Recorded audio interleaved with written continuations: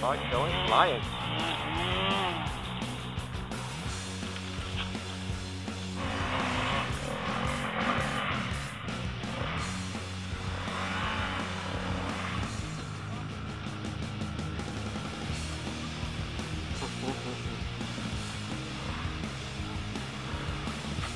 so